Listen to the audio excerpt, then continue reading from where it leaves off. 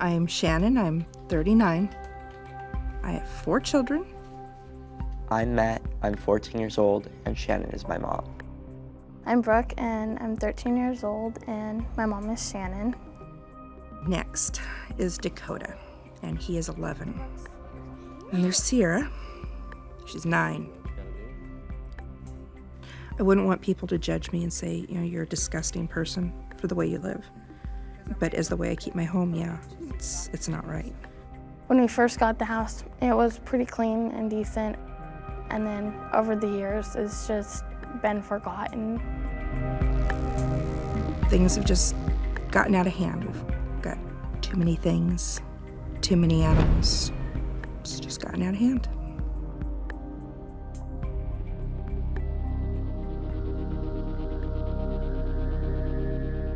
My name is Rhonda and I am Shannon's youngest sister. Shannon has been going slowly downhill in her attempts to clean it up or to care if anything was done around the house. It just seems the last year or two she's just completely given up. And that's what concerned me. She just doesn't care anymore. I would stay at friends' houses for two or three days to just escape from home and be in a cleaner environment.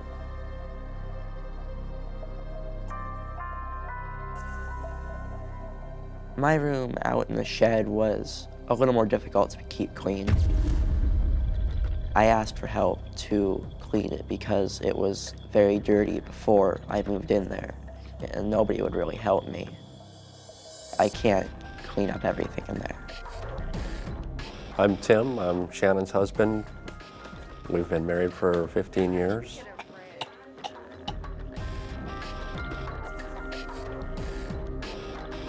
A lot of times within hours of the paycheck hitting the bank, we've no more money. My mom, she likes money, and she'll go out and get us something new every time she goes to the store. I would call my mom a hoarder, yeah. She will hoard anything she can pay for.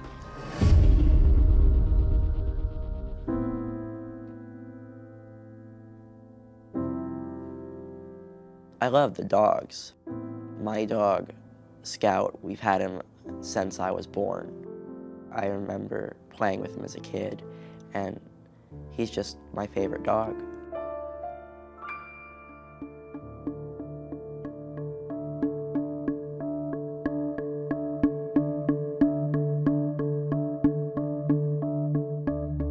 The animal thing was kind of a, you know, big signal there that she was getting way over her head with the animal feces and everything everywhere.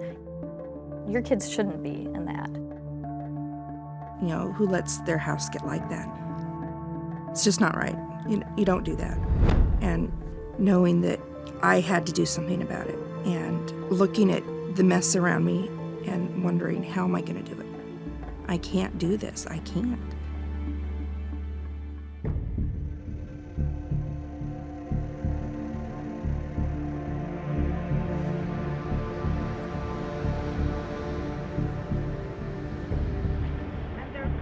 It was surreal, really, that it was actually happening. As much as you think it might happen, to actually see it happen was really hard. So when CPS knocked on that door, it was just a very, very crazy, crazy day.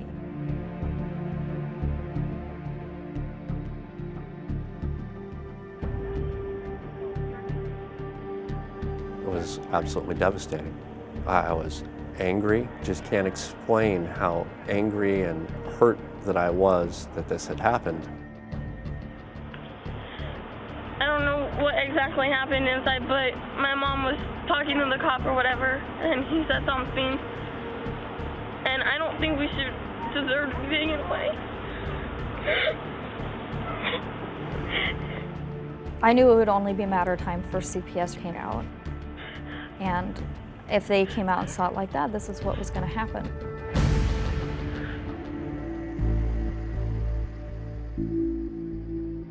You know, I didn't feel that they had the right to come in here and tell me, "Oh, your house is not appropriate for children." Know, they're not their children; they're they're mine. Right now, I'm faced with trying to get the kids to come home.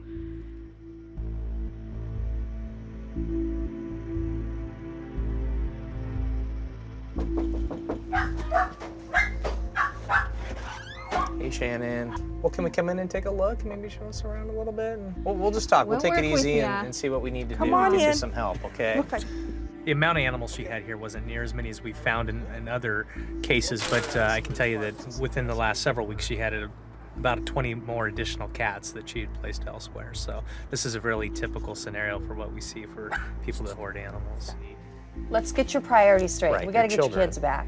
Your priority should be your kids. Right. It's got to be a lot of work for you between kids and animals and expensive. So you wanted to see the other ones? yeah, if you could, Okay. I'll let you lead the way. Then we have one mama in here. The living conditions in which the animals are in are not ideal. They're certainly not ideal for people to live in either. But you're not going to take all of them today, are you? Let's get through this. You know, Okay. see what you're thinking, and and we'll we'll come up with a plan. Okay.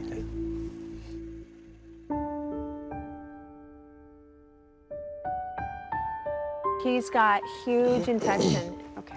It needs something because otherwise what happens is the bugs take over. We'll probably go ahead and take him in and put him down. If you want to have that done, we can take him today and help facilitate that. Okay. I want to be there.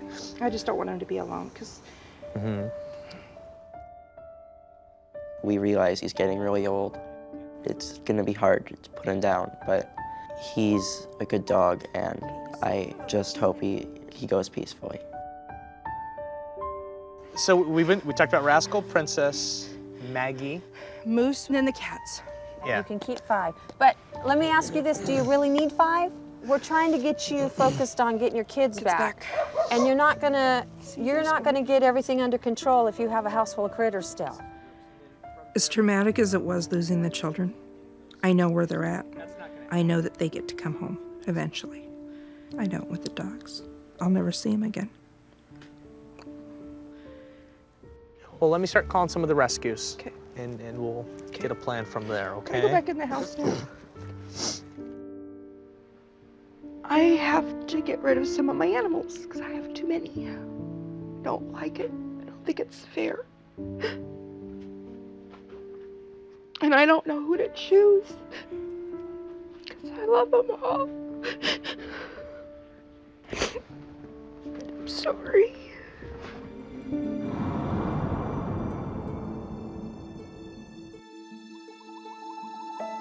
All right, good morning. Good morning. The weather is holding out, fingers Beautiful. crossed. You may notice we've got a bunch of guys here to help you clean out your home.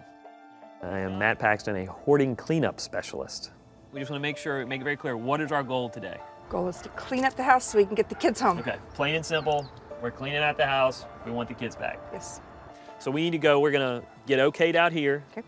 Verify everything, and then we're gonna go inside and do quick a quick sweep of everything that's automatic trash. Okay. I think by lunch, believe it or not, we will probably have 30 to 40 percent of this house cleaned out already. Yay. That first three hours, we want her to see the, the immediate benefit of Okay. cleaning. You ready? I'm ready. All right, let's do it. Okay, let's do it. All right, outside, it's pretty simple. If it's on the ground, it's trash. Let's go.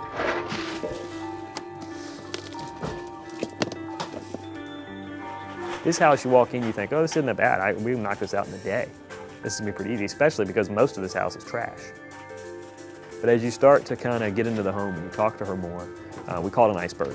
It's, it's what's below the water. It's what's really scary.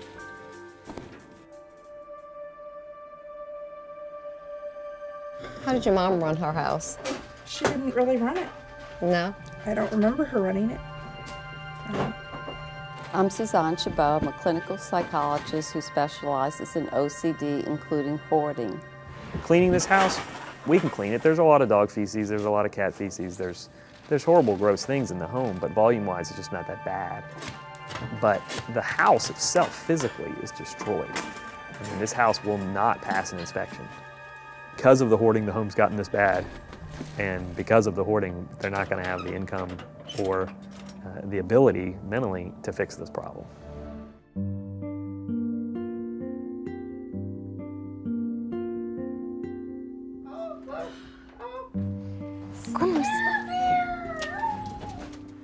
When I first walked in, I felt amazed. It was just like a new house. I thought, this cannot be my bedroom. it was so clean. I like my new bed. It's very comfortable. I think my parents did a good job, and they're great parents. When I walked in the house, I was just amazed. I went from being nervous to a just a big smile. I think we got an amazing amount of stuff accomplished. It didn't get all finished, but it's 99% done, and I think I can finish the 1% on my own. I think I'm motivated enough to do that. I saw some very positive things happen in the family. These are people who are really committed. They just don't know how to do the job yet.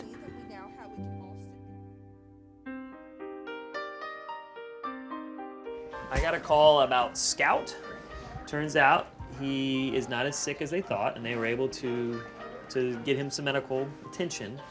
And they're actually going to keep him there, and he's going to get to live out his days Oh, in a very healthy way. Hearing about Scout made me tear up. I'm just so glad I didn't have to have him put down. News about Scout just made me feel the best I could be, and I hope he's happy where he is.